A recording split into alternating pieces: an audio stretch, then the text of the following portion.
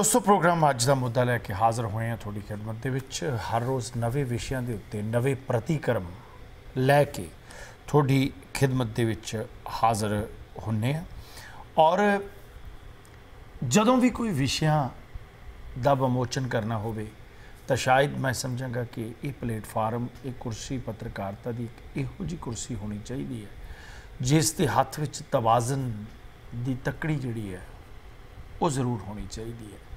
ਕਿਉਂਕਿ ਮੈਂ ਇੱਕ ਗੱਲ ਜ਼ਰੂਰ ਕਹਿਣਾ ਹੁੰਦਾ ਕਿ ਪੱਤਰਕਾਰੀ ਦਾ ਇੱਕ ਧਰਮ ਹੈ, ਪੱਤਰਕਾਰੀ ਦਾ ਇੱਕ ਫਰਜ਼ ਹੈ, ਪੱਤਰਕਾਰੀ ਦੀ ਇੱਕ ਡਿਊਟੀ ਹੈ ਕਿ ਇੱਕ ਪੱਤਰਕਾਰ ਕੋਈ ਫੈਸਲੇ ਨਹੀਂ ਸੁਣਾ ਸਕਦਾ।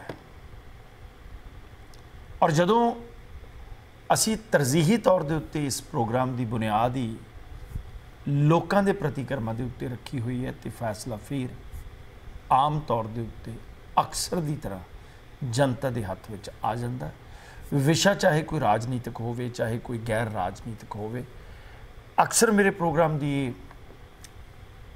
ਬਣੀ ਹੋਈ ਹੈ ਪਿਰਤ ਕਿ ਇੱਥੇ ਆਮ ਲੋਕਾਂ ਦੇ ਹੱਥਾਂ ਦੇ ਵਿੱਚ ਜ਼ਰੂਰ ਗੱਲ ਜਿਹੜੀ ਹੈ ਉਹ ਜਾਂਦੀ ਹੈ ਤੇ ਉਹ ਪ੍ਰਤੀਕਰਮ ਕਰਕੇ ਫੈਸਲਾ ਜਿਹੜਾ ਉਹਦੇ ਵਿਦੇਸ਼ ਦੀ ਧਰਤੀ ਦੇ ਉੱਤੇ ਵਿਦੇਸ਼ੀਆਂ ਨੇ ਬਹੁਤ ਲਹਿਰਾਂ ਪੈਦਾ ਕੀਤੀਆਂ ਔਰ ਉਹਨਾਂ ਲਹਿਰਾਂ ਦੇ ਵਿੱਚੋਂ ਪਹਿਲੀ ਲਹਿਰ ਮੈਂ ਸਮਝਾਂਗਾ ਕਿ ਪੰਜਾਬੀਆਂ ਦੀ ਗਦਰ ਲਹਿਰ ਸੀ।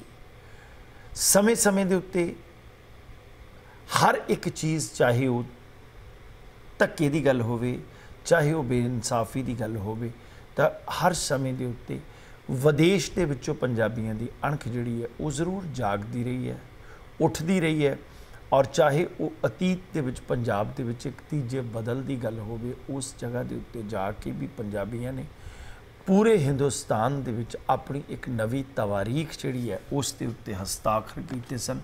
ਜਦੋਂ ਇੱਕ ਨਵੀਂ ਪਾਰਟੀ ਨੂੰ ਪੂਰੇ ਹਿੰਦੁਸਤਾਨ ਦੇ ਵਿੱਚੋਂ ਇੱਕ ਸੀਟ ਨਾ ਮਿਲੀ, ਪੰਜਾਬੀਆਂ ਨੇ ਚਾਰ ਦਿੱਤੀਆਂ, ਭਾਵੇਂ ਉਹਨਾਂ ਨੇ ਕੁੱਕੜ ਖੇ ਉਡਾਈ।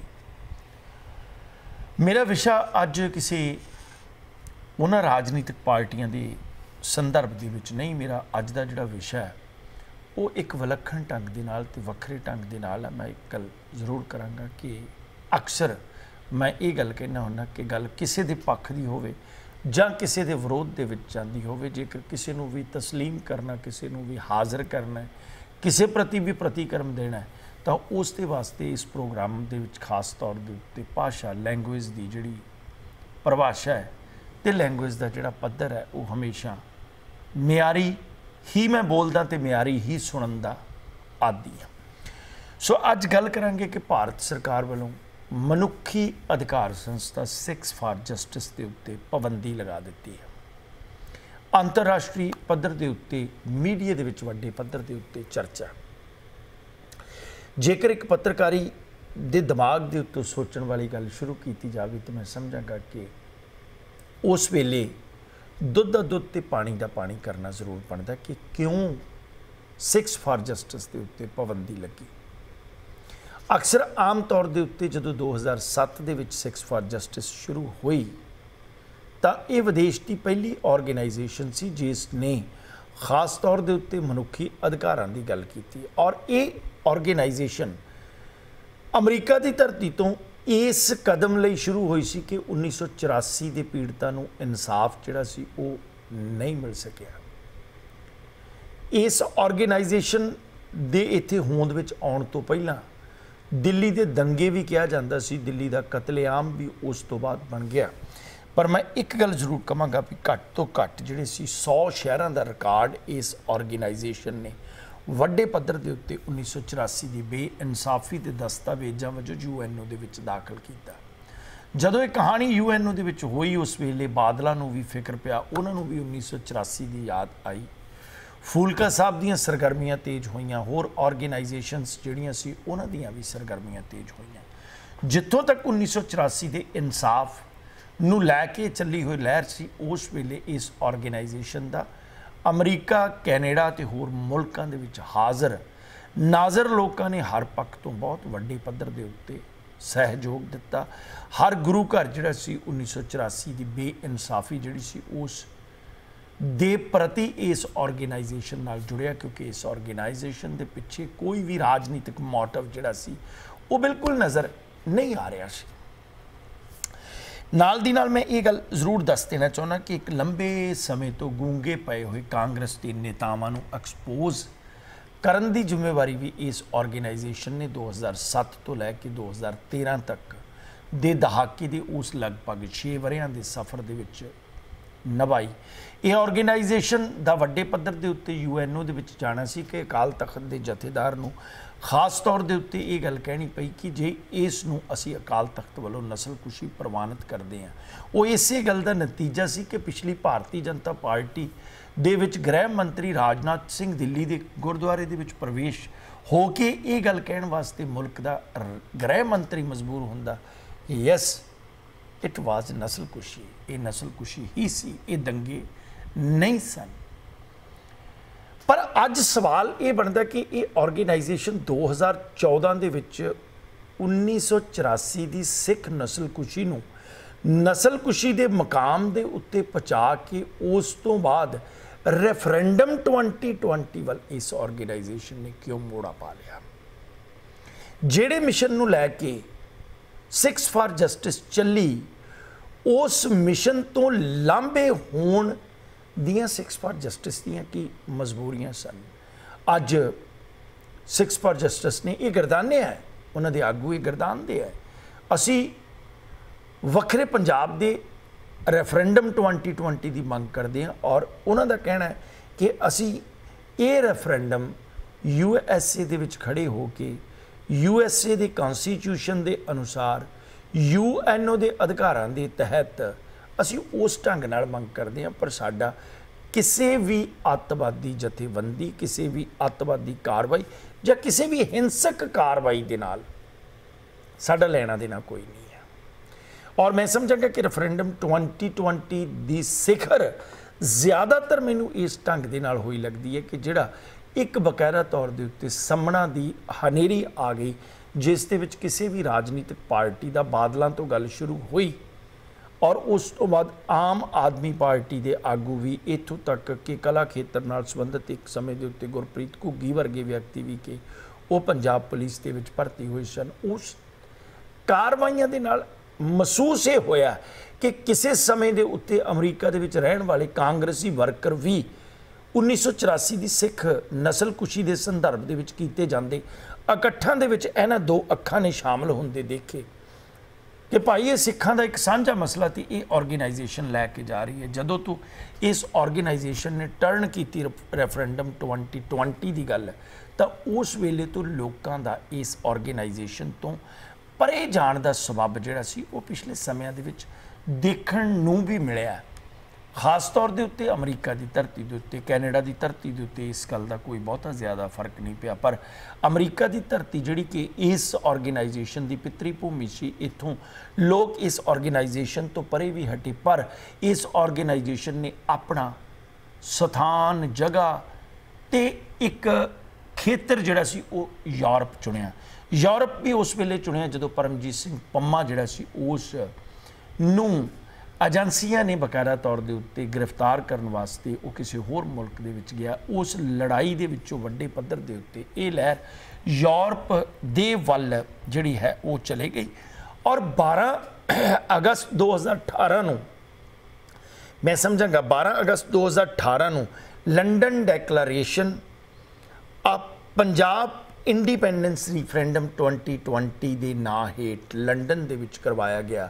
ਇਹ ਸਿਖਰ ਸੰਮੇਲਨ ਜਿਸ ਦਾ ਭਾਰਤੀ ਏਜੰਸੀਆਂ, ਹੋਰਾਂ ਕਈ ਮੁਲਕਾਂ ਦੀਆਂ ਏਜੰਸੀਆਂ ਜਾਂ ਕਈ ਲੋਕਾਂ ਨੂੰ ਇਸ ਗੱਲ ਦਾ ਜਿਹੜਾ ਸੀ ਉਹ ਬਾਰਾ ਨਹੀਂ ਖਾਦਾ ਇਸ ਦੀ ਵੱਡੇ ਪੱਧਰ ਦੇ ਉੱਤੇ ਵਿਰੋਧਤਾ ਹੋਈ। ਰਾਸ਼ਟਰੀ, ਅੰਤਰਰਾਸ਼ਟਰੀ ਮੀਡੀਆ ਦੇ ਵਿੱਚ ਸਵਾਲਾਂ ਦੇ ਅੱਗੇ ਵੀ ਖੜਨਾ ਪਿਆ ਔਰ ਇੱਕ ਸਿਖਰ ਸੀ ਜਦੋਂ ਅਤੀਤ ਦੇ ਵਿੱਚ, ਵਾਸ਼ਿੰਗਟਨ ਡੀਸੀ ਦੇ ਵਿੱਚ ਨਰਿੰਦਰ ਮੋਦੀ ਦੀ ਆਮਦ ਦੇ ਉੱਤੇ ਵੀ ਇੱਕ ਅਦਾਲਤ ਲਗਾਈ ਗਈ ਜਾਂ ਫਿਰ ਭਾਰਤ ਦੇ ਤਿਰੰਗੇ ਝੰਡੇ ਨੂੰ ਅੱਗ ਲਾ ਕੇ ਸਾੜਿਆ ਗਿਆ। ਇਹ ਚੀਜ਼ਾਂ ਇਸ ਆਰਗੇਨਾਈਜੇਸ਼ਨ ਨੂੰ ਇੰਨੀ ਦੂਰ ਲੈ ਗਈਆਂ ਕਿ ਅੱਜ ਆਰਗੇਨਾਈਜੇਸ਼ਨ ਦੇ ਪ੍ਰਬੰਧਕਾਂ ਦਾ ਵੀ ਮੰਨਣਾ ਹੈ ਕਿ ਅਸੀਂ ਅੱਤਵਾਦੀ ਨਹੀਂ, ਪਰ ਅਸੀਂ ਵੱਖਵਾਦੀ ਜ਼ਰੂਰ ਹਾਂ। ਵੱਖਵਾਦੀ ਭਾਵ ਕਿ ਇੱਕ ਪੰਜਾਬ ਨੂੰ ਵੱਖਰੀ ਤਰਜ਼ ਦੇ ਉੱਤੇ, ਵੱਖਰੇ ਮੁਲਕ ਦੀ ਗੱਲ ਜਿਹੜੀ ਆ, ਉਹ ਕਰਨ ਕਰਾਉਣ ਦੀ ਗੱਲ। ਇਸ ਆਰਗੇਨਾਈਜੇਸ਼ਨ ਦੇ ਉੱਤੇ ਇਹ ਦੋਸ਼ ਵੀ ਦ- ਲੱਗਦੇ ਰਹੇ ਕਿ ਇਸ ਆਰਗੇਨਾਈਜੇਸ਼ਨ ਨੂੰ ਆਈਐਸਆਈ ਜਿਹੜੀ ਪਾਕਿਸਤਾਨ ਦੀ ਖੁਫੀਆ ਏਜੰਸੀ ਹੈ ਉਹ ਵੱਡੇ ਪੱਧਰ ਦੇ ਉੱਤੇ ਫੰਡਿੰਗ ਕਰਦੀ ਹੈ ਜਦੋਂ ਇਸ ਆਰਗੇਨਾਈਜੇਸ਼ਨ ਨੇ ਪਾਕਿਸਤਾਨ ਦੇ ਵਿੱਚ ਰੈਫਰੈਂਡਮ 2020 ਦੀ ਕਾਨਫਰੰਸ ਕਰਾਉਣ ਦਾ ਐਲਾਨ ਕੀਤਾ, ਤਾਂ ਦੋਹਾਂ ਮੁਲਕਾਂ ਦੀ ਪਾਕਿਸਤਾਨ ਤੇ ਭਾਰਤ ਦੇ ਆਪਸੀ ਸਬੰਧਾਂ ਦੇ ਵਿੱਚੋਂ ਉਪਜੀ ਹੋਈ ਇੱਕ ਰੰਜਿਸ਼ ਤੇ ਵੱਧ ਰਹੇ। ਰੋਹ ਨੂੰ ਕਰਕੇ ਜਦੋਂ ਪਾਕਿਸਤਾਨ ਸਰਕਾਰ ਨੇ ਵੀ ਰੈਫਰੈਂਡਮ ਦੀ ਰੈਲੀ ਜਿਹੜੀ ਸੀ, ਉਹ ਪਾਕਿਸਤਾਨ ਦੇ ਵਿੱਚ ਕਰਾਉਣ ਤੋਂ ਇਜਾਜ਼ਤ ਨਾ ਦਿੱਤੀ, ਤਾਂ ਇਸ ਆਰਗੇਨਾਈਜੇਸ਼ਨ ਨੇ ਜਿਸ ਨੂੰ 6 ਫॉर ਜਸਟਿਸ ਦਾ ਪਹਿਲਾਂ ਦਾ ਨਾਮ ਦਿੱਤਾ ਗਿਆ, ਪਰ ਪਿਛਲੇ ਤਕਰੀਬਨ 2014 ਤੋਂ ਲੈ ਕੇ 1984 ਦੇ ਕੌਜ਼ ਨੂੰ ਜਿਵੇਂ ਇੱਕ ਪਾਸੇ ਜਾਂ ਨੇਪਰੇ ਚਾੜ ਲਿਆ ਸਮਝਿਆ ਗਿਆ ਜਾਂ ਉਸ ਨੂੰ ਛੱਡ ਦਿੱਤਾ ਗਿਆ, ਪਰ ਆਜ਼ਾਦ ਰੈਫਰੈਂਡਮ ਤੇ ਆਜ਼ਾਦ ਪੰਜਾਬ ਦੀ ਗੱਲ ਜਿਹੜੀ ਸੀ, ਉਹ ਇਸ ਆਰਗੇਨਾਈਜੇਸ਼ਨ ਦੇ ਮੂੰਹ ਦੇ ਉੱਤੇ ਆਉਣ ਲੱਗ ਪਈ। ਇਸ ਆਰਗੇਨਾਈਜੇਸ਼ਨ ਨੇ ਕਈ ਉਹਨਾਂ ਰਾਜਨੀਤਿਕ ਪਾਰਟੀਆਂ ਦੇ ਏਜੰਡੇ ਜਿਹੜੇ ਸੀ ਉਹ ਆਪਣੇ ਹੱਥ ਦੇ ਵਿੱਚ ਲਏ। ਭਾਵ ਕਈ ਉਹ ਏਜੰਡੇ ਜਿਨ੍ਹਾਂ ਦੇ ਉੱਤੇ ਸਿਮਰਨਜੀਤ ਸਿੰਘ ਮਾਨ ਜਿਹੜਾ ਸੀ, ਉਹ ਆਵਾਜ਼ ਬੁਲੰਦ ਕਰਦਾ ਸੀ।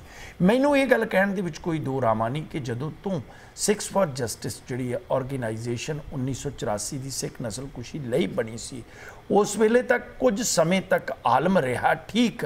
ਪਰ ਉਸ ਤੋਂ ਬਾਅਦ ਅਮਰੀਕਾ, ਕੈਨੇਡਾ ਦੀਆਂ ਵੀ ਤਕਰੀਬਨ ਤਕਰੀਬਨ 99% ਜਿਹੜੀਆਂ ਹਮ ਖਿਆਲੀ ਜਥੇਬੰਦੀਆਂ ਸੀ, ਜਿਹੜੀਆਂ ਵੱਖਰੇ ਰਾਜ ਦੀ ਮੰਗ ਕਰਦੀਆਂ ਸਨ। ਭਾਵੇਂ ਕਿ ਲੋਕ ਇਕੱਠਾਂ ਦੇ ਵਿੱਚ ਇਕੱਠ ਜ਼ਰੂਰ ਹੁੰਦੇ ਰਹੇ, ਹਾਜ਼ਰੀ ਜ਼ਰੂਰ ਭਰ ਹੁੰਦੀ ਰਹੀ, ਪਰ ਅੰਦਰ ਖਾਤੇ ਇਹਨਾਂ ਹਮ ਖਿਆਲੀ ਜਥੇਬੰਦੀਆਂ ਤੇ ਇਹਨਾਂ ਆਗੂਆਂ ਦੇ ਲੱਤਾਂ ਖਿੱਚਣ ਵਾਲੇ ਹਾਲਾਤ ਜਿਹੜੇ ਸੀ, ਉਹ ਆਪਸ ਵਿੱਚ ਕਦੇ ਵੀ, ਮੈਂ ਸਮਝਾਂਗਾ ਕਿ ਮੇਰੀਆਂ ਪੱਤਰਕਾਰੀ ਦੀਆਂ ਨਜ਼ਰਾਂ ਤੋਂ ਕਦੇ ਵੀ ਲੁਕੇ ਨਹੀਂ ਰਹੇ। ਅੱਜ ਜਦੋਂ ਸਾਡੇ ਕੋਲ ਪੂਰਨ ਰੂਪ ਦੇ ਵਿੱਚ ਕੋਈ ਵੀ ਮੁਲਕ ਨਹੀਂ ਪੰਜਾਬੀਆਂ ਕੋਲ, ਜਦੋਂ ਕਿ ਅਸੀਂ ਕੈਰੀ ਭਾਰਤ ਦਾ ਪਾਸਪੋਰਟ ਕਰਦੇ ਹਾਂ, ਸਾਡੇ ਕੋਲ ਇੱਕ ਭਾਰਤੀ ਕਹਾਉਣ ਦਾ ਇਹਨਾਂ ਮੁਲਕਾਂ ਦੇ ਵਿੱਚ ਹੱਕ ਹੈ। ਤਾਂ ਉਸ ਤੋਂ ਬਾਅਦ ਏਡੀਆਂ ਵੱਡੀਆਂ ਕਾਰਵਾਈਆਂ ਨੂੰ ਲੈ ਕੇ ਜੇਕਰ ਭਾਰਤ ਸਰਕਾਰ ਦੀ ਦੇਖਿਆ ਜਾਵੇ ਤਾਂ ਭਾਰਤ ਸਰਕਾਰ ਦਾ ਇਹ ਸਟੈਪ ਇੱਕ ਆਪਣੇ ਆਪ ਦੇ ਵਿੱਚ ਜਦੋਂ ਉਸਦੇ ਆਗੂ ਅਤਵਾਦੀ ਨਹੀਂ, ਸਗੋਂ ਵੱਖਵਾਦੀ ਆਪਣੇ ਆਪ ਨੂੰ ਕਹਿੰਦੇ ਨੇ, ਕਿਉਂਕਿ ਦੋ ਸ਼ਬਦ ਨੇ। ਪਰ ਅਤਵਾਦੀ ਜਿੱਥੇ ਤੱਕ ਗੱਲ ਹੁੰਦੀ ਹੈ, ਉਸ ਨੂੰ ਪੂਰਾ ਕੰਡੈਮ ਕਰਦੇ ਨੇ ਕਿ ਅਸੀਂ ਕਿਸੇ ਵੀ ਹਿੰਸਕ ਕਾਰਵਾਈ ਦੇ ਹਮਾਇਤੀ ਨਹੀਂ, ਹਿੰਸਕ ਕਾਰਵਾਈ ਨਹੀਂ ਕਰਦੇ, ਕਾਨੂੰਨ ਦੇ ਮੁਤਾਬਕ ਆਪਣੀ ਗੱਲ ਕਰਦੇ ਆ ਪਰ ਇੱਕ ਮੁਲਕ ਕਦੇ ਵੀ ਕੋਈ ਇਹ ਬਰਦਾਸ਼ਤ ਨਹੀਂ ਕਰ ਸਕਦਾ ਕਿ ਸਾਡੇ ਮੁਲਕ ਦਾ ਟੁਕੜਾ ਜਿਹੜਾ ਹੈ, ਉਹ ਅਲੱਗ ਹੋਵੇ। ਨਵੇਂ ਤੇ ਪਿਛਲੇ ਸਮੇਂ ਦੇ ਵਿੱਚ ਮੈਂ ਸਮਝਾਂਗਾ ਕਿ ਕੈਪਟਨ ਅਮਰਿੰਦਰ ਸਿੰਘ ਦੀ ਸਰਕਾਰ ਤੋਂ ਲੈ ਕੇ, ਕੈਪਟਨ ਅਮਰਿੰਦਰ ਸਿੰਘ ਦੇ ਵਿਰੋਧ ਤੋਂ ਲੈ ਕੇ, ਜਿੱਥੇ ਜਿਸ ਧਰਤੀ ਦੇ ਉੱਤੇ ਇਹ ਰੈਫਰੈਂਡਮ ਦੀ ਮੰਗ ਹੋ ਰਹੀ ਸੀ, ਉਸ ਧਰਤੀ ਦੇ ਉੱਤੇ ਵੱਡੇ ਵੱਡੇ ਹੋਲਡਿੰਗ ਜਿਹੜੀ ਸੀ, ਉਹ ਲਗਾਏ ਗਏ। ਔਰ ਉਸ ਤੋਂ ਬਾਅਦ ਕੈਪਟਨ ਅਮਰਿੰਦਰ ਸਿੰਘ ਦੀ ਰੰਜਿਸ਼ ਜਿਹੜੀ ਸੀ, ਉਹ ਬਹੁਤ ਵੱਡੇ ਪੱਧਰ ਦੇ ਉੱਤੇ ਇਸ ਆਰਗੇਨਾਈਜੇਸ਼ਨ ਦੇ ਨਾਲ ਕੈਨੇਡਾ ਦੇ ਦੌਰੇ ਤੋਂ ਲੈ ਕੇ ਸੀ।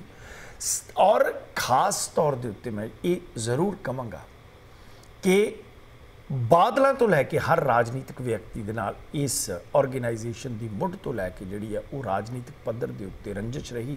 ਇੱਥੋਂ ਤੱਕ ਕਿ ਇਸ ਆਰਗੇਨਾਈਜੇਸ਼ਨ ਦੇ ਮੁੱਢ ਕਦੀਮ ਦੇ ਉੱਤੋਂ ਖਾਲਿਸਤਾਨ ਦੀ ਗੱਲ ਕਰਦੀ ਸਿਮਰਨਜੀਤ ਸਿੰਘ ਮਾਨ ਦੇ ਨਾਲ ਵੀ ਕਿਤੇ ਨਾ ਕਿਤੇ ਜਾ ਕੇ ਜਿਹੜਾ ਸੀ ਉਹ 36 ਦਾ ਅੰਕੜਾ ਵਿਚਾਰਾਂ ਦੇ ਆਧਾਰ ਤੇ ਜਾਂ ਕਿਸੇ ਕਾਰਵਾਈਆਂ ਦੇ ਆਧਾਰ ਦੇ ਉੱਤੇ ਹੁੰਦਾ ਰਿਹਾ, ਭਾਵੇਂ ਇਸ ਨੂੰ ਚਾਦਰ ਦੇ ਥੱਲੇ ਲੁਕੋ ਲਿਆ ਜਾਂਦਾ ਰਿਹਾ, ਪਰ ਮੈਂ ਸਮਝਾਂਗਾ ਕਿ ਪੱਤਰਕਾਰੀ ਦੀਆਂ ਨਜ਼ਰਾਂ ਦੇ ਵਿੱਚ ਇਹ ਲੁਕਣਾ ਨਾਮੁਮਕਿਨ ਸੀ।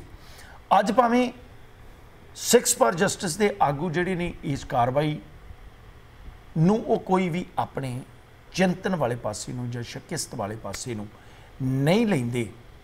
ਪਰ ਮੈਂ ਇੱਕ ਗੱਲ ਜ਼ਰੂਰ ਸਮਝਾਂਗਾ ਕਿ ਜਦੋਂ ਇੱਕ ਮੁਲਕ ਕਿਸੇ ਆਰਗੇਨਾਈਜੇਸ਼ਨ ਦੇ ਉੱਤੇ ਪਾਬੰਦੀ ਲਾ ਦਿੰਦਾ ਤਾਂ ਉਸ ਦੇ ਨਾਲ ਬਹੁਤ ਵੱਡੇ ਜਿਹੜੇ ਨੇ, ਉਹ ਫ਼ਰਕ ਵਿਦੇਸ਼ ਦੇ ਵਿੱਚ ਵਸਦੇ ਲੋਕ ਜਿਹੜੇ ਕਈ ਮੁੱਦਿਆਂ ਦੇ ਉੱਤੇ ਲੜਾਈ ਲੜ ਰਹੇ ਨੇ, ਉਹਨਾਂ ਦੀ ਮਾਨਸਿਕਤਾ ਦੇ ਉੱਤੇ ਜ਼ਰੂਰ ਪੈਂਦੇ ਨੇ। ਅੱਜ ਸਵਾਲ ਇਹ ਪੈਦਾ ਹੁੰਦੇ ਨੇ ਕਿ ਇੱਕ ਆਰਗੇਨਾਈਜੇਸ਼ਨ ਜਿਹੜੀ 1984 ਦੇ ਇਨਸਾਫ ਲਈ ਬਣੀ, ਕਿ ਉਹਨਾਂ ਨੂੰ ਉਸ ਵੇਲੇ 2007 ਤੱਕ ਇਹ ਗੱਲ ਬਾਰਾ ਨਹੀਂ ਖਾਦੀ ਜਾਂ ਲੋਕਾਂ ਦਾ ਏਡਾ ਵੱਡਾ ਉਹਨਾਂ ਨੂੰ ਹੁੰਗਾਰਾ ਨਹੀਂ ਮਿਲਿਆ ਕਿ 1984 ਦੇ ਨਾਂ ਦੇ ਉੱਤੇ ਹੀ, ਇਨਸਾਫ ਦੇ ਨਾਂ ਦੇ ਉੱਤੇ ਹੀ, ਜਸਟਿਸ ਦੇ ਨਾਂ ਦੇ ਉੱਤੇ ਹੀ ਇਸ ਚੀਜ਼ ਦੀ ਜਿਹੜੀ ਆ ਉਹ ਬੁਨਿਆਦ ਕਾਇਮ ਰਹੇ। ਕਿਉਂਕਿ ਪਹਿਲੀਆਂ ਦੇ ਵਿੱਚ ਜਦੋਂ ਦੇਖਿਆ ਗਿਆ ਤਾਂ ਬਕਾਇਦਾ ਤੌਰ ਦੇ ਉੱਤੇ ਇਸ ਆਰਗੇਨਾਈਜੇਸ਼ਨ ਨੇ ਇਹ ਗੱਲ ਆਖੀ ਕਿ ਅਸੀਂ ਭਾਰਤ ਦੇ ਸੰਵਿਧਾਨ ਦੇ ਤਹਿਤ 1984 ਦੇ ਦੋਸ਼ੀਆਂ ਨੂੰ ਸਜ਼ਾਵਾਂ ਦੀ ਮੰਗ ਕਰਦੇ ਹਾਂ।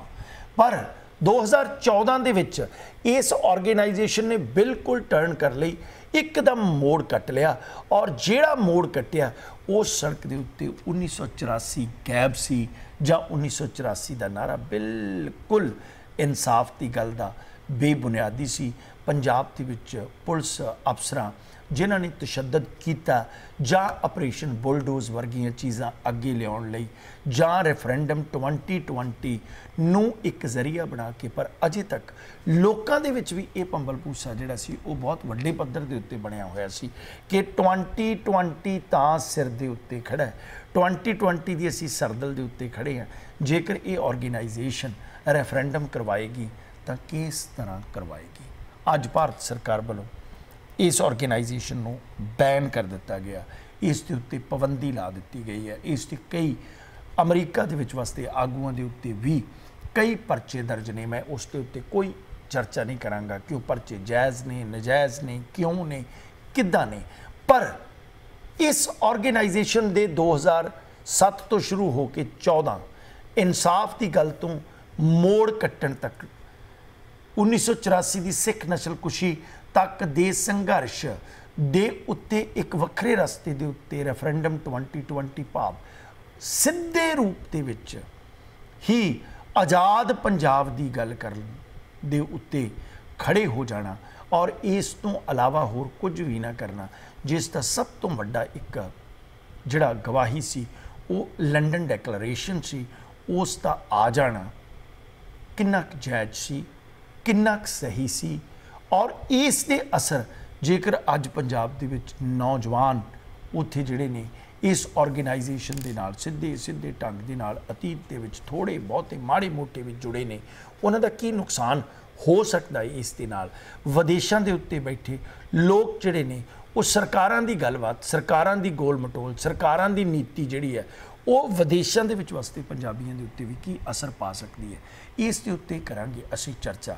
ਔਰ ਖਾਸ ਤੌਰ ਦੇ ਉੱਤੇ ਮੇਰੇ ਵਿਸ਼ੇ ਦਾ ਵਿਸ਼ਾ ਵਸਤੂ ਇਹੀ ਰਹੇਗਾ ਕਿ 1984 ਦੀ ਸਿੱਖ ਨਸਲ ਕੁਸ਼ੀ ਦੇ ਇਨਸਾਫ ਹਾਲੇ ਤੱਕ ਨਹੀਂ ਮਿਲੀ।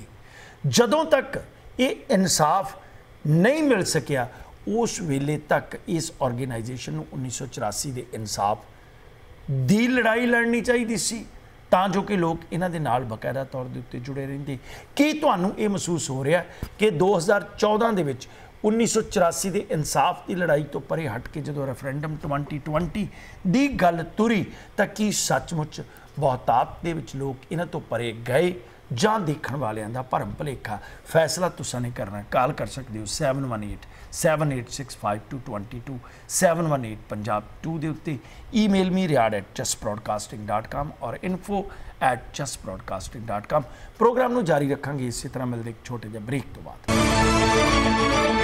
ਆ ਦੋਸਤੋ ਮੁੜ ਹਾਜ਼ਰ ਹੋਏ ਹਾਂ ਤੁਹਾਡੀ ਖidmat ਦੇ ਵਿੱਚ ਪ੍ਰੋਗਰਾਮ ਅੱਜ ਦਾ ਮੁੱਦਾ ਲੈ ਕੇ ਬਹੁਤ ਹੀ ਸੰਜੀਦਾ ਵਿਸ਼ਾ ਹੈ ਬਹੁਤ ਸਾਰਥਕ ਵਿਸ਼ਾ ਮੈਂ ਇੱਕ ਪਹਿਲਾਂ ਵੀ ਰਿਕੁਐਸਟ ਕੀਤੀ ਸੀ ਕਿਉਂਕਿ ਜਦੋਂ ਇਸ ਤਰ੍ਹਾਂ ਦੇ ਵਿਸ਼ੇ ਬਕਾਇਦਾ ਤੌਰ ਦੇ ਉੱਤੇ ਤੁਸੀਂ ਲੈ ਕੇ ਆਉਨੇ ਆ ਤਾਂ ਬਹੁਤ ਸੰਜੀਦਾ ਵਿਸ਼ੇ ਹੁੰਦੇ ਆ ਇਹਨਾਂ ਵਿਸ਼ਿਆਂ ਦੇ ਉੱਤੇ ਗੱਲ ਕਰਨੀ ਵੀ ਬਹੁਤ ਨਾਪ ਤੋਲ ਕੇ ਉੱਤੇ ਪੈਂਦੀ ਹੈ ਔਰ ਮੈਂ ਰਿਕੁਐਸਟ ਵੀ ਕਰਾਂਗਾ ਜ਼ਰੂਰ ਕਿ ਇਸ ਮੰਚ ਦੀ ਇੱਕ ਮਰਿਆਦਾ ਰਹੀ ਹੈ ਮੁੱਢ ਕਦੀਮ ਤੋਂ ਲੈ ਕੇ ਕਿ ਜਦੋਂ ਤੁਸੀਂ ਵੀ ਇਸ ਮੰਚ ਦੇ ਉੱਤੇ ਗੱਲ ਕਰੋ, ਚਾਹੇ ਉਹ ਕਿਸੇ ਦੇ ਪੱਖ ਦੀ ਗੱਲ ਕਰੋ, ਚਾਹੇ ਉਹ ਸਰਕਾਰ ਦੇ ਪੱਖ ਦੀ ਗੱਲ ਕਰੋ, ਚਾਹੇ ਸਰਕਾਰ ਦੇ ਵਿਰੋਧ ਦੀ ਗੱਲ ਕਰੋ, ਚਾਹੇ ਸਿਕਸ ਫਾਰ ਜਸਟਿਸ ਦੇ ਪੱਖ ਦੀ ਗੱਲ ਕਰੋ, ਚਾਹੇ ਉਹਨਾਂ ਦੇ ਕਿਸੇ ਵੀ ਰਵਈਏ ਦੇ ਉੱਤੇ ਗੱਲ ਕਰੋ, ਪਰ ਮੈਂ ਇੱਕ ਗੱਲ ਜ਼ਰੂਰ ਕਹਾਂਗਾ ਕਿ ਤੁਸੀਂ ਸ਼ਬਦਾਂ ਦੀ ਚੋਣ ਜਿਹੜੀ ਹੈ, ਉਹਨਾਂ ਦੇ ਵਿੱਚ ਜ਼ਰੂਰ ਸਲੀਕਾ ਹੋਣਾ ਚਾਹੀਦਾ। ਹੈਲੋ। ਹੈਲੋ। ਹਾਂਜੀ ਰਿਆੜ ਸਾਹਿਬ ਸਤਿ ਸ਼੍ਰੀ ਅਕਾਲ ਜੀ। ਹਾਂ ਜੀ ਸਤਿ ਸ਼੍ਰੀ ਅਕਾਲ ਜੀ ਸਤਿ ਸ਼੍ਰੀ ਅਕਾਲ। ਰਿਆੜ ਸਾਹਿਬ ਇੱਕ ਪੰਜਾਬੀ ਦੀ ਕਹਾਵਤ ਹੈ ਕਿ ਹਰ ਬੰਦੇ ਦੀ ਆਪਣੀ ਨਿੱਜੀ ਰਾਏ ਹੁੰਦੀ ਹੈ ਕਿ ਪੰਜਾਬੀ ਦੀ ਕਹਾਵਤ ਹੈ ਵੇਲੇ ਦਾ ਕੰਮ ਤੇ ਕਵੇਲੇ ਦੀਆਂ ਟੱਕਾਂ ਜੀ।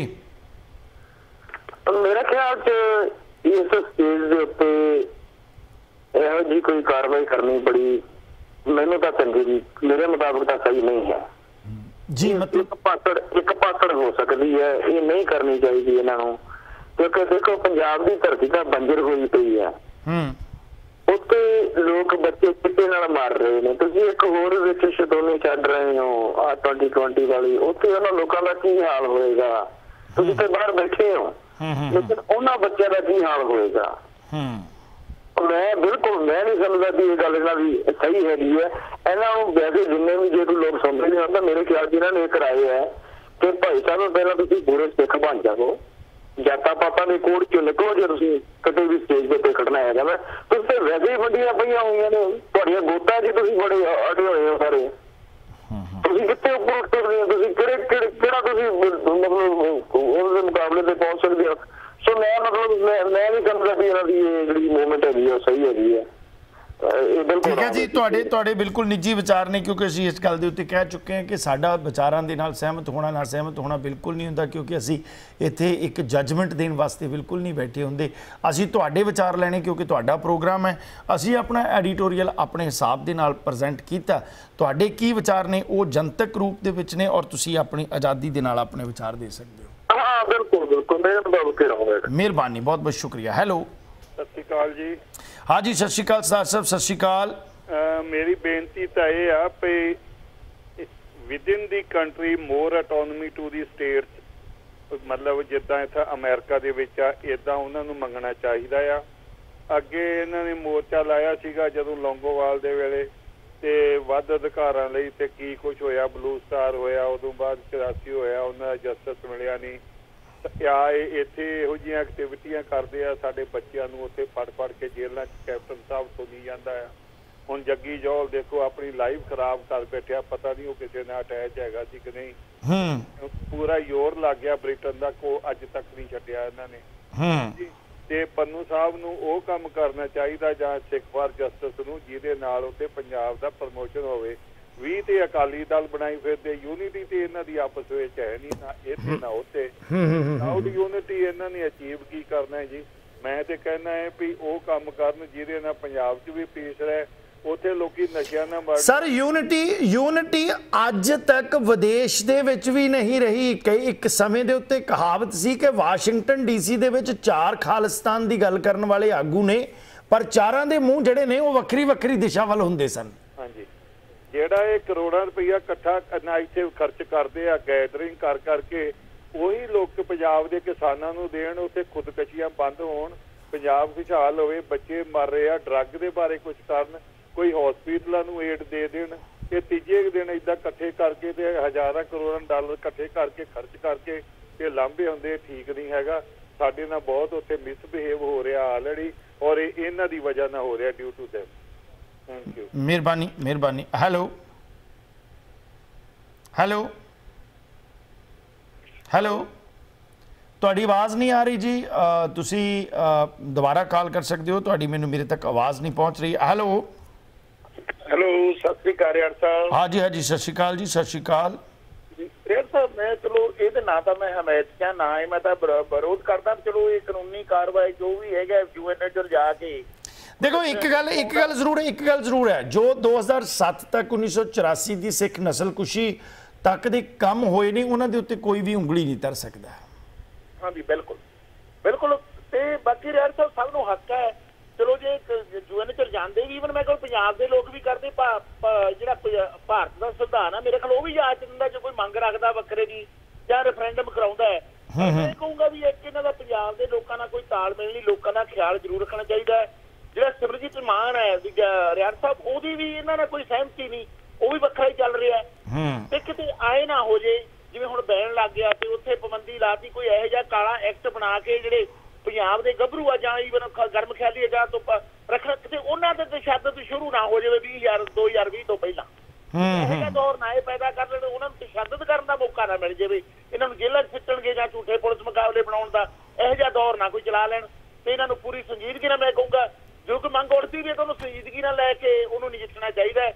ਅੱਗੇ ਆਪਾਂ ਦੇਖ ਹੀ ਰਿਹਾ 78 ਚ ਇਹਨਾਂ ਨੇ ਉਹ ਜੇ ਆਨੰਦਪੁਰ ਦੇ ਮਤੇ ਨੂੰ ਸੰਜੀਦਗੀ ਨਾਲ ਨਹੀਂ ਲਿਆ, ਤੇ ਕਿੱਥੋਂ ਤੱਕ ਗੱਲ ਪਹੁੰਚੀ ਰਿਹਾ ਸਾਹਿਬ ਮੇਰਾ ਤਾਂ ਇਹੀ ਕੰਸਰਨ ਜੀ 78 ਦੇ ਵਿੱਚ ਵੀ ਉਹਨਾਂ ਰਾਜਨੀਤਿਕ ਲੋਕਾਂ ਨੇ ਨਸ਼ਤਰ ਜਿਹੜਾ ਸੀ ਉਹ ਬਣਾਇਆ।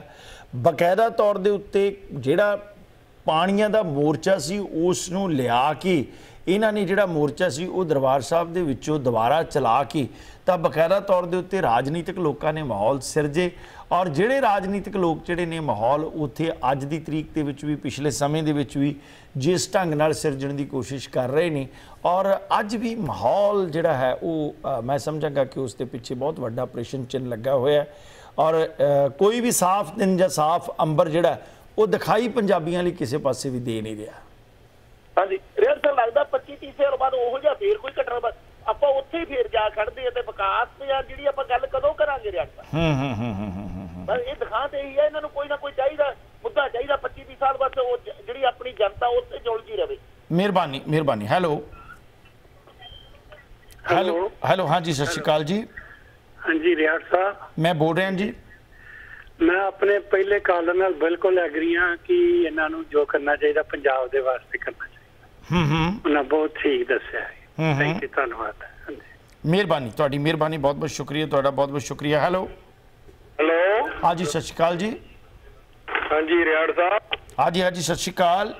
ਚਰਨ ਸਿੰਘ ਪ੍ਰੇਮਪੁਰਾ ਬੋਲਦਾ ਜੀ। ਹਾਂਜੀ ਚਰਨ ਸਿੰਘ ਪ੍ਰੇਮਪੁਰਾ ਜੀ ਕੀ ਕਹੋਗੇ ਜੀ? ਕਹਿਣਾ ਕੋਣਾ ਕੀ ਪ੍ਰੇਮਪੁਰਾ ਸਾਹਿਬ ਥੋੜਾ ਜਿਹਾ ਆਵਾਜ਼ ਆਪਣੇ ਟੈਲੀਵਿਜ਼ਨ ਦੀ ਘੱਟ ਕਰੋ। ਹਾਂਜੀ ਹਾਂਜੀ। ਮੈਂ ਸਿਸਟਮ ਜਿਹੜਾ ਹੈ ਨਾ ਹੂੰ। ਪਹਿਲਾਂ ਹੀ ਬੜਾ ਵਿਗੜੇ ਹੈ। ਹੂੰ। ਤੇ ਹੋਰ ਉਲਝੇਗਾ ਹੂੰ। ਸਭ ਤੋਂ ਪਹਿਲਾਂ ਤੇ ਸਾਨੂੰ ਆਪਣਾ ਉੱਥੇ ਬੜਾ ਵਧੀਆ ਵੋਟਾਂ ਦਾ ਰਾਜ ਹੈ। ਸ਼੍ਰੋਮਣੀ ਕਮੇਟੀ 'ਚ ਜਾਣ ਹੈ। ਫਿਰ ਪੰਜਾਬ ਤੇ ਰਾਜ ਕਰਕੇ ਆਪਣਾ ਵੋਟਾਂ ਲੈ ਕੇ ਜੋ ਮਰਜ਼ੀ ਮਤੇ ਪਾਸ ਕਰੀ ਜਾਣ ਪਰ ਇਹਨੇ ਬਹੁਤ ਮਾਹੌਲ ਵਿਗੜੇਗਾ। ਹੂੰ ਹੂੰ ਹੂੰ ਹੂੰ ਹੂੰ ਸਿਆਣਪ ਦੀ ਲੋੜ ਹੈ। ਇਵੇਂ ਇਵੇਂ ਤੇ ਲੱਭਣਾ ਕੱਖ ਨਹੀਂ। ਜੋ ਕਿਸੇ ਤੇ ਉਹ ਇੱਥੇ ਕੇਸ ਕਰਦੇ ਵੀ ਨੇ ਇੱਥੇ ਦੀ ਅਦਾਲਤ ਕੀ ਕਰੇਗੀ ਉਹਨਾਂ ਨੂੰ? ਜਿਹੜਾ ਜਿਹੜਾ ਜਿਹੜਾ ਜਿਹੜਾ ਪਾਬੰਦੀ ਲਗਾਈ ਗਈ ਹੈ ਭਾਰਤ ਸਰਕਾਰ ਵੱਲੋਂ ਬਕਾਇਦਾ ਤੌਰ ਦੇ ਉੱਤੇ ਕੈਬਨਿਟ ਦੇ ਵਿੱਚ ਪਾਸ ਕਰਕੇ ਉਹਦੇ ਪ੍ਰਤੀ ਤੁਹਾਡਾ ਕੀ ਵਿਚਾਰ ਹੈ? ਵੇਖੋ ਜੀ ਸਰਕਾਰਾਂ ਨੇ ਆਪਣੇ ਹਿਸਾਬ ਨਾਲ ਚੱਲਣਾ ਹੂੰ। ਸਰਕਾਰਾਂ ਨੂੰ ਅਸੀਂ ਕਿੱਦਾਂ ਡੱਕ ਸਕਦੇ ਆ ਅਸੀਂ ਅ, 21ਵੀਂ ਸਦੀ ਦੇ ਹਾਣੀ ਨਹੀਂ ਬਣ ਸਕੇ। ਅਸੀਂ ਉਹ ਉਹ ਜਿਹੜਾ 30 35 ਸਾਲ ਵਾਲਾ ਪੁਰਾਣਾ ਪ੍ਰੋਗਰਾਮ ਸੀ ਨਾ ਉਹਦਾ ਨਾਮ ਬਦਲ ਦਿੱਤਾ। ਰਾਹ ਸਾਡਾ ਉਹ ਹੀ। ਹੈ। ਹੂੰ ਹੂੰ ਬਾਕੀ ਮਹਾਰਾਜ ਸਮਤ ਬਖਸ਼ੇ ਇਹ ਪੰਜਾਬ ਦੇ ਭਲੇ ਵਾਸਤੇ ਨਹੀਂ ਹੋ ਰਿਹਾ। ਜੀ ਮਿਹਰਬਾਨੀ ਤੁਹਾਡੀ ਬਹੁਤ ਬਹੁਤ ਸ਼ੁਕਰੀਆ। ਦੋਸਤੋ ਪ੍ਰੋਗਰਾਮ ਨੂੰ ਅਸੀਂ ਇਸੇ ਤਰ੍ਹਾਂ ਰੱਖਾਂਗੇ ਜਾਰੀ।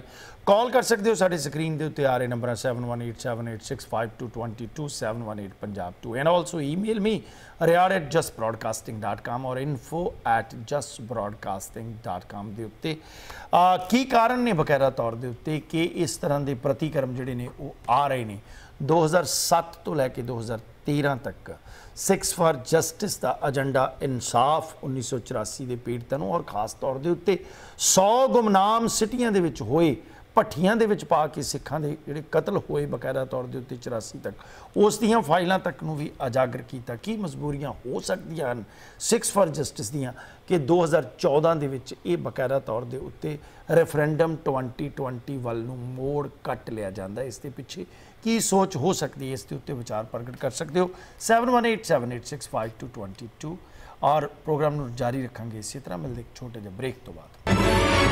ਆਦਰ ਸੰਗ ਹਾਜ਼ਰ ਹੋਏ ਹਾਂ ਤੁਹਾਡੀ ਖidmat ਦੇ ਵਿੱਚ ਪ੍ਰੋਗਰਾਮ ਅੱਜ ਦਾ ਮੁੱਦਾ ਲੈ ਕੇ। ਕਾਲ ਕਰ ਸਕਦੇ ਹੋ ਸਕਰੀਨ ਦੇ ਉੱਤੇ ਆ ਰਹੇ ਨੰਬਰਾਂ 7187865222 718 ਪੰਜਾਬ 2 ਦੇ ਉੱਤੇ। ਈਮੇਲ ਮੀ riyad@justbroadcasting.com ਔਰ info@justbroadcasting.com ਕਿਸ ਮੋੜ ਦੇ ਉੱਤੇ ਅੱਜ ਖਲੋਤੀ ਹੈ 6 ਫॉर ਜਸਟਿਸ ਔਰ ਆਮ ਤੌਰ ਦੇ ਉੱਤੇ ਮੈਂ ਸਮਝਾਂਗਾ ਕਿ ਕਿਸ ਪਾਸੇ ਨੂੰ ਸੰਘਰਸ਼ ਜਿਹੜਾ ਆਪਣਾ ਜਾਂ ਆਪਣੀਆਂ ਜਿਹੜੀਆਂ ਗਤੀਵਿਧੀਆਂ ਨੇ, ਉਹਨਾਂ ਨੂੰ ਲੈ ਕੇ ਜਾਏਗੀ 6 ਫॉर ਜਸਟਿਸ ਜਿਹੜੀ ਹੈ। ਅੱਜ ਪੂਰੀ ਦੁਨੀਆ ਦੇ ਵਿੱਚ, ਪੂਰੇ ਵਰਲਡ ਵਾਈਡ ਜਿਹੜਾ ਉਹ ਮੀਡੀਆ ਦੇ ਵਿੱਚ ਇਸ ਦੇ ਉੱਤੇ ਬਕਾਇਦਾ ਤੌਰ ਦੇ ਉੱਤੇ ਜਿਹੜੀ ਹੈ ਉਹ ਚਰਚਾ ਹੋ ਰਹੀ ਹੈ। ਕਿਉਂਕਿ ਖਾਸ ਤੌਰ ਦੇ ਉੱਤੇ ਅਸੀਂ ਚਰਚਾ ਕਰ ਰਹੇ ਹਾਂ, ਕਿਉਂਕਿ ਇਸ ਮਿੱਟੀ ਤੋਂ ਇਸ ਧਰਤੀ ਤੋਂ ਇਸੇ ਨਿਊਯਾਰਕ ਤੋਂ ਇਹ ਜਿਹੜੀ ਸੰਸਥਾ ਆਰਗੇਨਾਈਜੇਸ਼ਨ ਹੈ 2007 ਦੇ ਵਿੱਚ ਹੋਂਦ ਵਿੱਚ ਆਈ ਸੀ। ਹੈਲੋ ਹਾਂਜੀ ਸਤਿ ਸ਼੍ਰੀ ਅਕਾਲ ਭਾਈ ਸਾਹਿਬ। ਹਾਂਜੀ ਸਤਿ ਸ਼੍ਰੀ ਅਕਾਲ ਜੀ ਸਤਿ ਸ਼੍ਰੀ ਅਕਾਲ। ਹਾਂਜੀ ਮੈਂ ਤੇ ਆਪ ਪਤਾ ਕੀ ਹੈ ਇਸ ਦੇ ਹੱਕ ਵਿੱਚ ਆ ਕੇ ਚੰਗਾ ਹੋ ਗਿਆ ਏ ਕਿ ਇਹ ਵੈਨ ਲੱਗ ਗਿਆ ਏ। ਕਿਉਂਕਿ ਆਪਾਂ ਠੀਕ ਆ ਆਪਾਂ ਜਾਣਦੇ ਆ ਕਿ ਪੰਜਾਬੀਆਂ ਦੇ ਵਿੱਚ ਤਾਕਤ ਬਹੁਤ ਜ਼ਿਆਦਾ ਹੈਗੀ ਆ। ਜੀ। ਪਰ ਉਸ ਤਾਕਤ ਨੂੰ ਜੇ ਆਪਾਂ ਆਪਣੇ ਪੰਜਾਬ ਦੇ ਭਲੇ ਪਿੱਛੇ ਵਰਤਿਆ ਜਾਵੇ ਤੇ ਜ਼ਿਆਦਾ ਵਧੀਆ ਏ। ਅੱਜ ਖਬਰਾਂ ਵਿੱਚ ਵੀ ਦਿਖਾ ਰਹੇ ਸੀਗੇ ਕਿ ਖਾਲਿਸਤਾਨ ਦੇ ਨਾਰੇ ਉੱਥੇ ਲੱਗ ਰਹੇ ਆ ਕੈਨੇਡਾ ਦੇ ਵਿੱਚ ਤੇ ਫਿਰ ਪੁਲਿਸ ਨੂੰ ਉੱਥੇ ਉਹਨਾਂ ਨੂੰ ਮਤਲਬ ਕੰਟਰੋਲ ਤੇ ਕਰਨਾ ਹੀ ਪੈਂਦਾ ਏ। ਤੇ ਫਿਰ ਇੱਥੇ ਬੈਠੇ ਜਿਹੜੇ ਲੋਕ ਆ ਬਹੁਤੇ ਜ਼ਿਆਦੇ ਕਿਉਂਕਿ ਉਹ ਇੱਥੇ ਬੈਠੇ ਹੈਗੇ ਆ ਤੇ ਆਪਣੇ ਮਤਲਬ ਉਹਦੇ ਵਿੱਚ ਆ ਜਾਂਦੇ ਆ ਵੀ ਹਾਂ ਸਾਡੇ ਕੋਲੇ ਚਾਰ ਪੈਸੇ ਹੈਗੇ ਆ।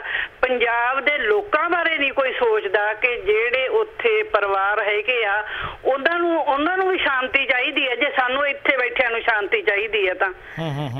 ਤੇ ਇਸ ਤਰ੍ਹਾਂ ਸ਼ਾਂਤੀ ਨੂੰ ਅਸੀਂ ਕਹਿ ਤਾਂ ਦਿੰਨੇ ਆ ਵੀ ਹਿੰਦੂ ਆਏ ਆ ਉਹ ਆਏ ਆ ਪਰ ਸਾਡੇ ਪੰਜਾਬੀਆਂ ਦੇ ਵਿੱਚ ਜਿਹੜੀ ਜ਼ਿਆਦੇ ਪਾਵਰ ਆ ਜ਼ਿਆਦਾ ਉਹ ਆਪਸ ਵਿੱਚ ਲੜ ਕੇ ਕੱਢ ਲੈਂਦੇ ਆ ਜਾਂ ਇਸ ਕਰਕੇ ਕੱਢੀ ਜਾਂਦੀ ਹੈ ਕੀ ਆ। ਵਾਕਈ ਜਿਹੜੀ ਜ਼ਿਆਦੇ ਤਾਕਤ ਹੁੰਦੀ ਆ ਨਾ ਇਹਨੂੰ ਯੂਜ਼ ਕਰੋ ਤੇ ਚੰਗੇ ਪਿੱਛੇ ਕਰੋ ਤੇ ਉਹ ਸਭ ਦੇ ਭਲੇ ਦੀ ਗੱਲ ਕਰੋ ਤੇ ਜਿਆਦੇ ਵਧੀਆ ਹੁੰਦੀ ਆ। ਨਹੀਂ ਉਹਦੇ ਵਿੱਚ ਸਾਡਾ ਹੀ ਨੁਕਸਾਨ ਹੁੰਦਾ ਹੈ ਪੰਜਾਬੀਆਂ ਦਾ ਹੀ ਨੁਕਸਾਨ ਹੁੰਦਾ ਹੈ। ਮਿਹਰਬਾਨੀ ਜੀ ਮਿਹਰਬਾਨੀ ਤੁਹਾਡਾ ਬਹੁਤ ਬਹੁਤ ਸ਼ੁਕਰੀਆ। ਹੈਲੋ ਹੈਲੋ ਹਾਂਜੀ ਸਤਿ ਸ੍ਰੀ ਅਕਾਲ ਜੀ। ਰਿਆਜ਼ ਸਾਹਿਬ ਮੈਂ ਗੁਰਮੀਤ ਸਿੰਘ ਨਿਊ ਜਰਸੀ ਤੋਂ ਬੋਲ ਰਿਹਾ ਜੀ। ਜੀ ਸਰ ਗੁਰਮੀਤ ਸਿੰਘ ਜੀ ਕੀ ਹਾਲ ਚਾਲ ਹੈ ਜੀ? ਹਾਂਜੀ ਠੀਕ ਠਾਕ ਤੁਹਾਡਾ ਮੁੱਦਾ ਸੁਣ ਰਹੇ ਹਾਂ ਅੱਜ ਦਾ ਮੁੱਦਾ। ਜੀ ਸਰ। ਇਹਦੇ ਵਿੱਚ ਮੈਂ ਹੁਣੇ ਪੰਜਾਬ ਜਾ ਕੇ ਆਇਆ ਹਾਂ ਇੱਕ ਵੀਕ ਹੋਇਆ ਮੈਨੂੰ। ਜੀ। ਤੇ ਇਹ ਜੋ ਹਾਲਾਤ ਸਾਡੇ 2020 ਵਾਲੇ ਆ ਇੱਥੇ ਕੁਝ ਜ਼ਿਆਦਾ ਨਹੀਂ। ਉੱਥੇ ਤਾਂ ਆਮ ਲੋਕਾਂ ਨੂੰ ਕੁਝ ਇਹਦੇ ਬਾਰੇ ਗਿਆਨ ਵੀ ਨਹੀਂ ਹੈਗਾ। ਹੂੰ ਹੂੰ ਹੂੰ ਹੂੰ ਤੇ ਬੜੀ ਹੈਰਾਨੀ ਹੋਈ ਜਦ ਮੈਂ ਜਿਨ੍ਹਾਂ ਨਾਲ ਵੀ ਗੱਲ ਕੀਤੀ ਉਹਨਾਂ ਨੂੰ ਕੁਝ ਇਸ ਬਾਰੇ ਕੋਈ ਵੀ ਇਹ ਨਹੀਂ ਮੈਂ ਕਿਸੇ ਨਾਲ ਵਿੱਚ ਗੱਲ ਕੀਤੀ ਜਾਂ ਸ਼ਹਿਰ ਦੇ ਵਿੱਚ ਕੀਤੀ ਲੋਕਾਂ ਨੂੰ ਬੜੇ ਜਾਗਰੂਕ ਨੇ ਉਹ ਆਪਣੇ ਰਾਈਟਸ ਦੇ ਲਈ। ਪਰ ਮੈਂ ਦੇਖਿਆ ਕਿ ਉਹ 2020 ਦੇ ਕਿਸੇ ਵੀ ਕੋਈ ਵੀ ਆਪਣੇ ਸਿੱਖਾਂ ਦੇ ਵਿੱਚ ਵੀ ਕੋਈ ਹੱਕ ਦੇ ਵਿੱਚ ਨਹੀਂ ਹੈਗਾ। ਬਾਕੀ ਤਾਂ ਮੈਂ ਦੇਖਿਆ ਉੱਥੇ ਹਰ ਜਗ੍ਹਾ ਪੰਜਾਬ ਦੇ ਵਿੱਚ ਹੋਟਲਾਂ 'ਚ ਚਲੇ ਜਾਓ ਬੈਂਕਟ ਹਾਲਾਂ ਦੇ ਵਿੱਚ ਚਲੇ ਜਾਓ ਕਿਤੇ ਸਟੋਰਾਂ ਦੇ ਵਿੱਚ ਚਲੇ ਜਾਓ ਕੱਪੜੇ ਵਾਲੇ ਰੈਸਟੋਰੈਂਟਾਂ ਦੇ ਵਿੱਚ ਉੱਥੇ ਜੋ ਮੈਂ ਕਿਸੇ ਪ੍ਰਵਾਸੀਆਂ ਦੇ ਖਿਲਾਫ ਨਹੀਂ ਹੈਗਾ ਪਰ ਉਹ ਹਰ ਪਾਸੇ ਉਹ ਲੋਕ ਜੋ ਜੌਬਾਂ ਕਰ ਰਹੇ ਨੇ। ਤੇ ਮੈਨੂੰ ਨਹੀਂ ਪਤਾ ਅਸੀਂ 2020 ਦੇ ਵਿੱਚ 20% ਵੀ ਪੰਜਾਬ ਚੋਂ ਲੈ ਸਕਾਂਗੇ ਜੀ ਜਾਂ ਨਹੀਂ। ਗੁਰਮੀਤ ਜੀ ਸਰਕਾਰ ਨੂੰ ਫਿਰ ਕਿਸ ਚੀਜ਼ ਦਾ ਡਰ ਹੈ ਕਿ ਸਰਕਾਰ ਨੇ ਉੱਥੇ ਬੰਦ ਬੈਨ ਕਰ ਦਿੱਤੀ ਭਈ ਇਹਦੇ ਉੱਤੇ ਪਾਬੰਦੀ ਲਗਾ ਦਿੱਤੀ ਜਾਵੇ? ਸਰਕਾਰ ਨੂੰ ਕੋਈ ਫਿਊਚਰ ਦਾ ਇਸ ਆਰਗੇਨਾਈਜੇਸ਼ਨ ਤੋਂ ਡਰ ਸੀ? ਜੇਕਰ ਇਸ ਦਾ ਕੋਈ ਵੀ ਬੋਲਬਾਲਾ ਨਹੀਂ ਹੈ ਕੋਈ ਵੀ ਗੱਲ ਨਹੀਂ ਹੈ ਤੇ ਮੈਂ ਇਹ ਸਮਝਦਾ ਕਿ ਜਦੋਂ ਕੱਟਾ ਕੱਟੀ ਨਿਕਲਣ ਵਾਲੀ ਗੱਲ ਹੁੰਦੀ ਹੈ ਕਿ ਜੇਕਰ ਇੱਕ ਵਾਰੀ ਸਰਕਾਰ ਹੀ ਚੁੱਪ ਕਰਕੇ ਕਰਵਾ ਦੇਵੇ ਵੀ ਵੋਟਾਂ ਪਵਾ ਲਓ, ਵੈਸੇ ਤਾਂ ਜਿਹੜੀਆਂ ਨਾਰਮਲ ਤੌਰ ਦੇ ਉੱਤੇ ਵੋਟਾਂ ਪੈਂਦੀਆਂ ਨੇ ਉਹ ਵੀ ਤਾਂ ਇੱਕ ਕਿਸਮ ਦੀਆਂ ਰੈਫਰੈਂਡਮ ਵਰਗੀਆਂ ਹੁੰਦੀਆਂ ਨੇ ਵੋਟਾਂ ਮੈਂ ਮੈਂ ਬਿਲਕੁਲ ਹੱਕ ਦੇ ਵਿੱਚ ਹਾਂ। ਪੰਜਾਬ ਦੇ ਵਿੱਚ ਬ- ਜਾਂ ਹਿੰਦੁਸਤਾਨ ਦੇ ਵਿੱਚ ਗਵਰਨਮੈਂਟ ਨੂੰ ਡਰ ਹੋਣਾ ਹੀ ਨਹੀਂ ਚਾਹੀਦਾ ਇਸ ਚੀਜ਼ ਦਾ ਉਹਨਾਂ ਨੂੰ ਓਪਨਲੀ ਜਦੋਂ ਮੈਂ ਇਹ ਫੀਲ ਕਰਕੇ ਆਇਆ ਆ ਕਿ ਕੋਈ ਉਹਦੇ ਵਿੱਚ ਕੋਈ ਡਰ ਵਾਲੀ ਗੱਲ ਨਹੀਂ ਹੈਗੀ ਲੋਕਾਂ ਦੀ رائے ਲੈ ਲੈਣੀ ਚਾਹੀਦੀ ਹੈ ਤੁਹਾਨੂੰ ਕਿਸੇ ਵੀ ਲੱਗਦਾ ਤਰ੍ਹਾਂ ਕਿ ਨਾਲ ਸਰਕਾਰਾਂ ਕਹਿ ਜਿਹੜੀਆਂ ਨੇ ਸਰਕਾਰਾਂ ਖੁਦ ਇੱਕ ਵੱਡੇ ਪੱਧਰ ਦੇ ਉੱਤੇ ਹਊਆ ਖੜਾ ਕਰਨ ਵਾ- ਹਊਆ ਖੜਾ ਵਾਸਤੇ ਕਰ ਰਹੀਆਂ। ਰਾਜਨੀਤਿਕ ਸਟੰਟ ਪੈਦਾ ਕਰਨ ਵਾਸਤੇ ਹਿੰਦੂ ਸਿੱਖ ਦੇ ਵਿੱਚ ਇੱਕ ਪਾੜਾ ਵਧਾਉਣ ਵਾਸਤੇ ਕਿਉਂਕਿ ਜਦੋਂ ਪਿਛਲੀ ਵਿਧਾਨ ਸਭਾ ਵੀ ਜਿੱਤੀ ਗਈ ਹੈ ਉਸ ਵੇਲੇ ਵੀ ਇੱਕ ਸਟੰਟ ਦੇ ਥਰੂ ਪੰਜਾਬ ਦੀ ਵਿਧਾਨ ਸਭਾ ਜਿੱਤੀ ਗਈ ਹੈ ਸਿਰਫ ਤੇ ਸਿਰਫ ਅਰਵਿੰਦ ਕੇਜਰੀਵਾਲ ਫਲਾਣੇ ਦੇ ਘਰ ਚਲੇ ਗਿਆ ਔਰ ਇਸ ਦੇ ਨਾਲ ਅਮਨ ਕਾਨੂੰਨ ਨੂੰ ਅੱਗ। ਲੱਗ ਸਕਦੀ ਹੈ ਵਿਦੇਸ਼ ਦੇ ਵਿੱਚ ਬੈਠੇ ਜਿਹੜੇ ਸਿੱਖ ਹੈ ਉਹਨਾਂ ਨੂੰ ਖਾਮਖਾ ਜਿਹੜੀ ਸੀ ਉਹ ਅੱਤਵਾਦੀ ਗਰਦਾਨਣ ਵਾਲੀ ਗੱਲ ਹੋ ਗਈ ਕਿ ਉਹ ਗਰਮ ਖਿਆਲੀ ਨੇ ਫਲਾਣਿਆਂ ਦੇ ਘਰ ਚਲੇ ਗਿਆ ਔਰ ਇਸ ਢੰਗ ਦੇ ਨਾਲ ਸ਼ਹਿਰੀ ਤੇ ਹਿੰਦੂ ਵੋਟ ਜਿਹੜੀ ਹੈ ਉਹ ਬੀਜੇਪੀ ਦੇ ਖੇਮੇ ਦੇ ਵਿੱਚੋਂ ਕੱਢ ਕੇ ਕਾਂਗਰਸ ਉਹਦੇ ਉੱਤੇ ਖੇਡਣਾ ਚਾਹੁੰਦੀ ਹੈ। ਕਦੇ ਬੀਜੇਪੀ ਜਿਹੜੀ ਹੈ ਉਹ ਅੱਜ ਦੀ ਤਰੀਕ ਦੇ ਵਿੱਚ ਉਸ ਵੋਟ ਦੇ ਉੱਤੇ ਖੇਡਣਾ ਚਾਹੁੰਦੀ ਹੈ। ਰਾਜਸੀ ਲੋਕਾਂ ਦਾ ਸਾਰਿਆਂ ਦਾ ਮਿਲਿਆ ਜੁਲਿਆ ਇਹ ਸਟੰਟ ਨਹੀਂ ਕਿ ਕਿਸੇ ਚੀਜ਼ ਨੂੰ ਉਭਾਰਨਾ ਆਪਣੇ ਆਪ ਬਜਾਤੇ ਖੁਦ? ਉਹਦਾ ਫਾਇਦਾ ਲੈ ਰਹੇ ਨੇ ਜੀ ਇਹ। ਬਿਲਕੁਲ ਤੁਸੀਂ ਸਹੀ ਕਿਹਾ ਹੈ। ਮੈਂ ਕਿਉਂਕਿ ਜਾ ਕੇ ਦੇਖਿਆ ਹੈ ਕਿ ਉੱਥੇ ਕੋਈ ਵੀ ਇਹੋ ਜਿਹੀ ਕੋਈ ਵੀ ਪ੍ਰੋਬਲਮ ਨਹੀਂ ਹੈਗੀ। ਮੈਂ ਇੱਕ ਤੁਹਾਨੂੰ ਦੱਸਦਾ ਕਿ ਰੋਪੜ ਦੇ ਵਿੱਚ ਮੈਂ ਇੱਕ ਮਰਗ ਦੇ ਉੱਤੇ ਕਿਸੇ ਦੇ ਭੋਗ ਦੇ ਉੱਤੇ ਗਿਆ। ਉੱਥੇ ਆਪਣੇ ਚੀਮਾ ਸਾਹਿਬ ਗਏ ਹੋਏ ਸੀਗੇ। ਤੇ ਤੇ ਲੋਕ ਬੈਠੇ ਆ ਸਾਰੇ ਜਣਿਆਂ ਨੇ ਉਹਨਾਂ ਦੀਆਂ ਸੁਣੇ ਵਿਚਾਰ ਸੁਣੇ ਆ ਕੋਈ ਵੀ ਮੇਰੇ ਲੂੜੀਆਂ ਉੱਠ ਰਹੀਆਂ ਸੀ ਕਿ ਮੈਂ ਉੱਠ ਕੇ ਬਾਹਰ ਚਲ ਜਾਵਾਂ ਮੈਂ ਇਹਨੂੰ ਸੁਣਨਾ ਨਹੀਂ ਹੈਗਾ। ਇਹਨਾਂ ਨੇ ਪੰਜਾਬ ਦਾ ਸਾਡੇ ਦਾ ਪੱਠਾ ਬਿਠਾਤਾ ਆ ਇਹ ਕਿੱਦਾਂ ਲੋਕੀ ਬੈਠੇ ਨੇ ਪਰ ਉਹ ਲੋਕ ਬੈਠੇ ਰਹੇ ਕੋਈ 1 ਘੰਟਾ ਚੀਮਾ ਸਾਹਿਬ ਉੱਥੇ ਰਹੇ ਤੇ ਉਹਨਾਂ ਨੇ ਆਪਣੇ ਵਿਚਾਰ ਵੀ ਦਿੱਤੇ।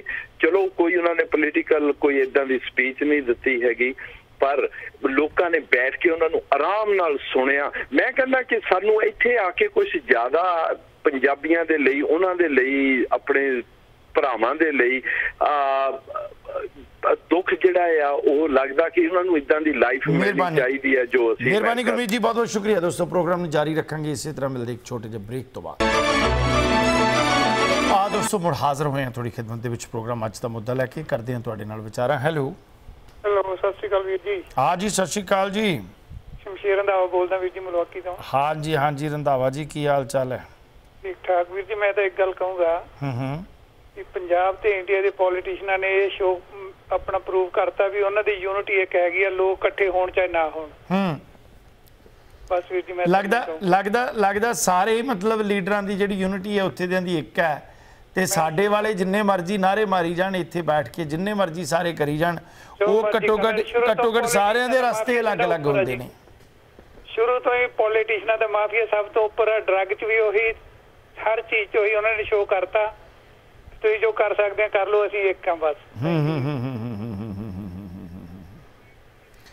ਬਹੁਤ ਬਹੁਤ ਸ਼ੁਕਰੀਆ ਤੁਹਾਡਾ ਬਹੁਤ ਬਹੁਤ ਧੰਨਵਾਦ ਦੋਸਤੋ ਗੱਲ ਮਸਲਾ ਇਸ ਗੱਲ ਦਾ ਹੈ ਕਿ ਜਦੋਂ ਤੁਸੀਂ ਇਸ ਨੂੰ ਬਕਾਇਦਾ ਤੌਰ ਦੇ ਉੱਤੇ ਨਿਰੰਤਰ ਮੈਂ ਸਮਝਾਂਗਾ ਕਿ ਇੱਕ ਗੈਰਤਾ ਨਾਲ ਦੇਖੋਗੇ ਤਾਂ ਲਾ ਪਾ ਕੇ ਜਿਹੜਾ ਹੈ, ਉਹ ਇਨਡਾਇਰੈਕਟਲੀ ਸਿੱਧੇ ਤੌਰ ਦੇ ਉੱਤੇ ਪੰਜਾਬ ਦੇ ਵਿੱਚ ਵਸਦੇ ਜਿਹੜੇ ਲੋਕ ਹੈ, ਉਹਨਾਂ ਦਾ ਨੁਕਸਾਨ ਜਿਹੜਾ ਹੈ, ਉਹ ਆਉਣ ਵਾਲੇ ਸਮੇਂ ਦੇ ਵਿੱਚ ਕਿਸ ਕਿਸ ਢੰਗ ਦੇ ਨਾਲ, ਕੋਈ ਆਰਗੇਨਾਈਜੇਸ਼ਨ ਆਪਣਾ ਕਿਸ ਤਰ੍ਹਾਂ ਦਾ ਰਸਤਾ ਅਖਤਿਆਰ ਕਰਦੀ ਹੈ, ਸਰਕਾਰਾਂ ਕਿਸ ਤਰ੍ਹਾਂ ਦਾ ਰਸਤਾ ਅਖਤਿਆਰ ਕਰਦੀਆਂ ਨੇ ਮਸਲਾ ਇਸ ਗੱਲ ਦਾ ਕਿ ਸਰਕਾਰਾਂ ਦੇ ਹੱਥ ਦੇ ਵਿੱਚ ਚਾਹੇ ਉਹ ਕਿਸੇ ਦੀ ਵੀ ਸੱਤਾ ਹੋਵੇ, ਪਰ ਸੱਤਾ ਦੀ ਜਿਹੜੀ ਕੈਂਚੀ ਹੁੰਦੀ ਹੈ ਨਾ ਉਹ ਇੱਕੋ ਜਿਹੀ ਹੁੰਦੀ ਹੈ, ਜਦੋਂ ਵੀ ਚੱਲਣੀ ਹੈ, ਉਹ ਸੱਤਾ ਦੀ ਕੈਂਚੀ ਹੁੰਦੀ ਹੈ। ਉਸ ਨੂੰ ਤੁਸੀਂ ਇਹ ਨਹੀਂ ਕਹਿ ਸਕਦੇ ਕਿ ਕਾਂਗਰਸ ਦੀ ਕੈਂਚੀ ਹੈ, ਬੀਜੇਪੀ ਦੀ ਕੈਂਚੀ ਹੈ, ਇਹ ਅਕਾਲੀ ਦਲ ਬਾਦਲ ਦੀ ਕੈਂਚੀ ਹੈ, ਇਹ ਕੈਪਟਨ ਅਮਰਿੰਦਰ ਸਿੰਘ ਦੀ ਕੈਂਚੀ ਹੈ। ਉਹਨਾਂ ਦਾ ਤੁਸੀਂ ਕਦੇ ਵੀ ਕੋਈ ਡਿਫਰੈਂਸ ਜਿਹੜਾ ਹੈ, ਉਹ ਨਹੀਂ ਭਾਪ ਸਕਦੇ।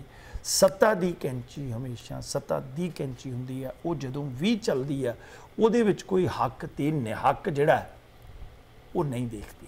ਸ਼ਾਲਾ ਇਸ ਤਰ੍ਹਾਂ ਦੀਆਂ ਲਹਿਰਾਂ ਜਿਹੜੀਆਂ ਨੇ, ਉਹ ਮੈਂ ਸਮਝਾਂਗਾ ਕਿ ਹੋ ਸਕਦਾ ਵਿਦੇਸ਼ ਦੀ ਧਰਤੀ ਦੇ ਉੱਤੇ ਸੋਚ ਸਮਝ ਕੇ ਇਸ ਢੰਗ ਨਾਲ ਅਗਰੈਸਿਵ ਹੋ ਕੇ ਚਲਾਈਆਂ ਗਈਆਂ ਹੋਣ, ਪਰ ਮਸਲਾ ਇਸ ਗੱਲ ਦਾ ਸਮਾਂ ਹਰ ਇੱਕ ਚੀਜ਼ ਦੀ ਇੱਕ ਗਵਾਹੀ ਦੀ ਮੰਗ ਕਰਦਾ ਕਿ ਸਮਾਂ ਆਉਣ ਵਾਲੇ ਸਮੇਂ ਦੇ ਵਿੱਚ ਪੰਜਾਬ, ਕਿਉਂਕਿ ਇਸ ਵੇਲੇ ਪੰਜਾਬ ਦੀ ਧਰਤੀ ਜਿਹੜੀ ਹੈ, ਉਹ ਬਹੁਤ ਪਾਸਿਆਂ ਤੋਂ ਪੀੜਤ ਹੋ ਰਹੀ ਹੈ। ਪੰਜਾਬ ਦੇ ਪੱਲੇ ਪਾਣੀ ਨਹੀਂ। ਪੰਜਾਬ ਦੀ ਬਿਜਲੀ ਦੂਜੇ ਸੂਬਿਆਂ ਨੂੰ ਜਾ ਰਹੀ ਹੈ, ਪਰ ਪੰਜਾਬ ਦੇ ਮੁੱਖ ਮੰਤਰੀ ਕੋਲ ਇੰਨੀ ਯੁਰਤ ਨਹੀਂ ਕਿ ਉਹ ਵਿਧਾਨ ਸਭਾ ਦੇ ਵਿੱਚ ਮਤਾ ਪਾ ਕੇ ਇਹ ਗੱਲ ਕਵੇ ਕਿ ਦਿੱਲੀ ਤੇ ਰਾਜਸਥਾਨ, ਹਰਿਆਣਾ ਪੰਜਾਬ ਦੀ ਬਿਜਲੀ ਦਾ ਪੈਸਾ ਦੇਵੇ। ਜੇਕਰ ਪੰਜਾਬ ਦੇ ਵਿੱਚ ਚਿੱਟੇ ਹਾਥੀ ਬਾਦਲ ਸਰਕਾਰਾਂ ਵੇਲੇ ਬੰਨੇ ਹੋਏ ਨੇ ਕੋਲੇ ਵਾਲੇ, ਤਾਂ ਉਸ ਦੇ ਉੱਤੇ ਜੇਕਰ ਪੈਸਾ ਨਹੀਂ ਜਾਂਦਾ ਤੇ ਕੋਲਾ ਨਹੀਂ ਆਉਂਦਾ।